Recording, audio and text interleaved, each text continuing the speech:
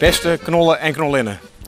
Het is elf weken geleden dat wij, Prins Dimitri en ikzelf door burgemeester Bobine Boys onthuld zijn. Afgelopen zondag hebben we van diezelfde burgemeester de sleutel van ons knollenrijk gekregen. Dat betekent dat wat ons betreft de carnaval kan beginnen. We hebben er enorm veel zin in. We kijken er naar uit om jullie tijdens vele carnavalsactiviteiten te ontmoeten.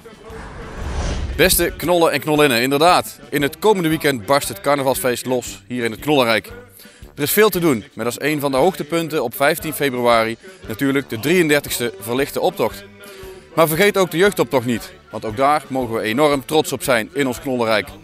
We wensen alle deelnemers en de organisatie veel succes met de laatste voorbereidingen.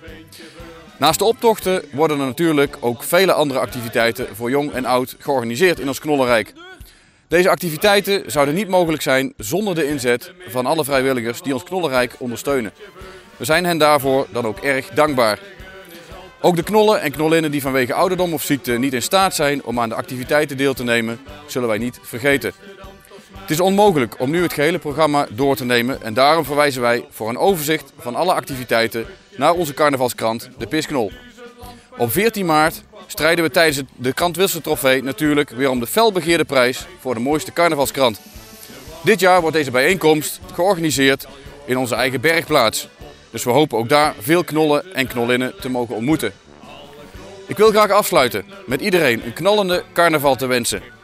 Ik hoop jullie samen met mijn adjudant, ons knolle Ginneke, de Raad van Elf, het bestuur en de bezige meidjes te ontmoeten en het glas te heffen op ons mooie knollenrijk.